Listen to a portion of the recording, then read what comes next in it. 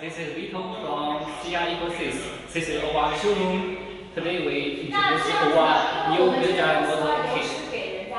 See here, this is our QS motor 4 kilowatt wheel drive motor, and this is controller E Voto controller EM200, and this is our speedometer DKD, and this is our floater as a this is include a powertrain. Now we connect all together. We can show the function to check.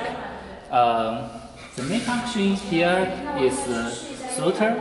Here we can see the first and second speed and third speed. Also it support S mode here and also it support R. We can check here in uh, in first in first speed, second speed.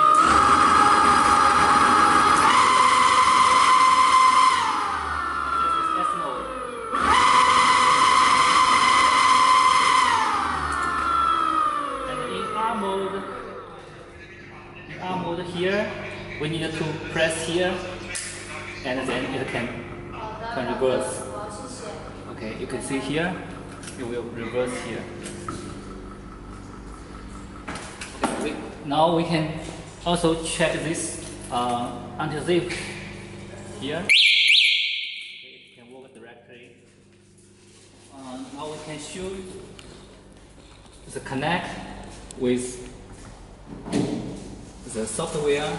Click open and then connect. We can check the settings here. The first page for the uh, controller.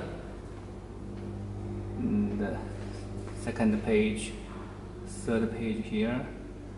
This is on display. You can see the temp, controller temp and also motor temp. This is voltage. And this is port setting. Okay, that's all. Thank you.